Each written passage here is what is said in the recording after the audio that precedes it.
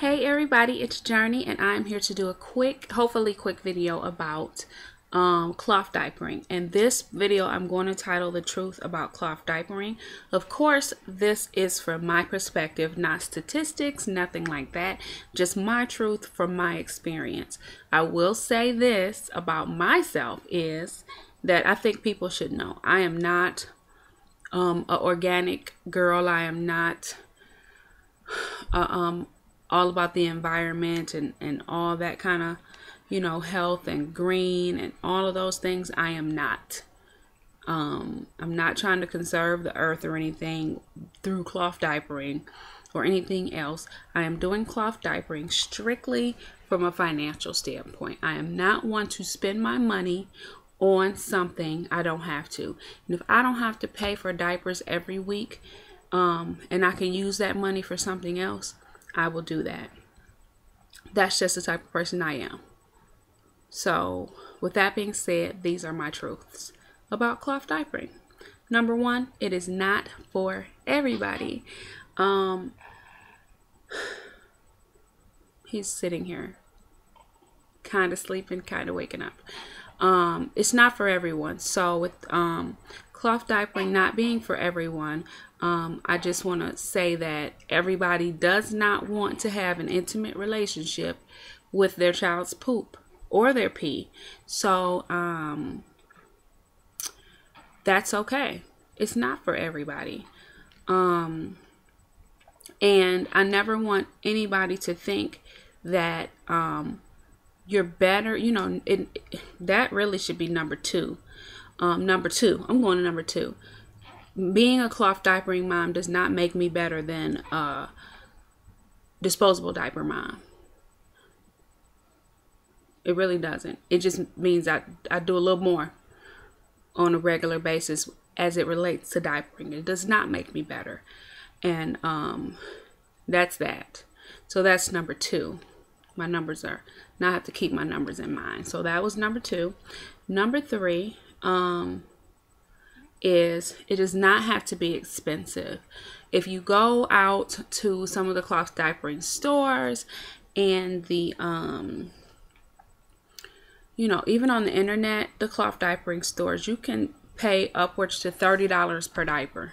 Close to $30 per diaper for some of the more um, known brands. So I'm going to say it does not have to cost that much. I paid four dollars or some for something per diaper for my Sunbaby diapers, and I don't have a problem with them. I've only been using them for a week, so I'm not at all an expert. But like I said, I don't believe in spending my money on something um, if I don't, you know, unnecessarily. And that includes brands. I'm not a brand name person either. I like brand name stuff, but I'm not paying the brand price for for some leggings I can get with no name on them. You know what I mean? It's I'm just not that kind of girl. Okay, number 4. Um actually this is number 5. Every experience is going to be different. Um, some people do it, love it, live by it. Other people do it, hate it, never want to see a cloth diaper again.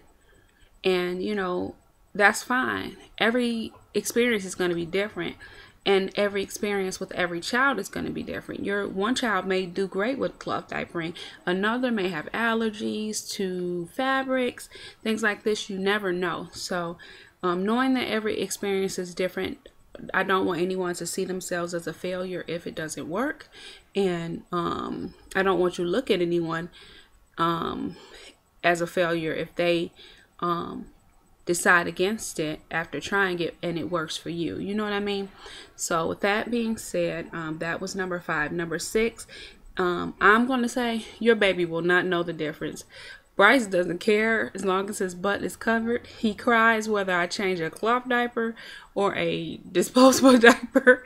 It does not matter. he don't know. He does not have a clue what is on his bottom.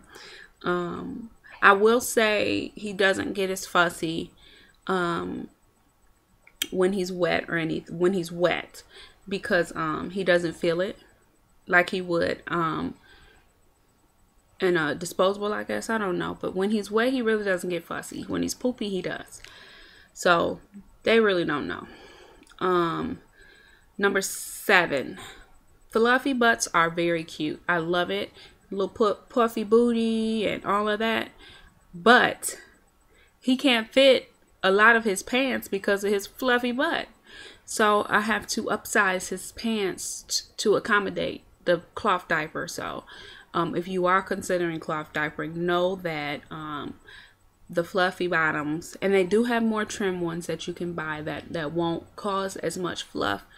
But I'm not going for all that. I can just put him in a bigger pair of pants. Um, so fluffy butts are cute, but they do need bigger pants because of them. Um, so that's another truth. And I think I just have one more truth, and that truth is that there are items out there that make it easier, but you don't have to buy them all. The one item that I found most um, beneficial to us is the liners. And it kind of looks like toilet paper. I'm showing it real fast. Um, and it's just a thin, like, you just sit this inside the diaper. This has been the most beneficial to me, nothing else. And I do have a diaper sprayer I haven't even started using yet. Um, and we'll talk about that in a second. But you don't have to buy it all, every single thing. Um, start with the basics, the necessities, and go from there if you're going to do it. Um, but this just kind of keeps his diaper from getting too dirty when he poos. Um, and I can just drop this in the toilet and flush it with his poop. So um, be that that's been the most beneficial thing for me. Um, but that's it. That's the truth. That's the truth. That's my truth. So if you have some truth about cloth diapering you would like to share, um, please do. That's all.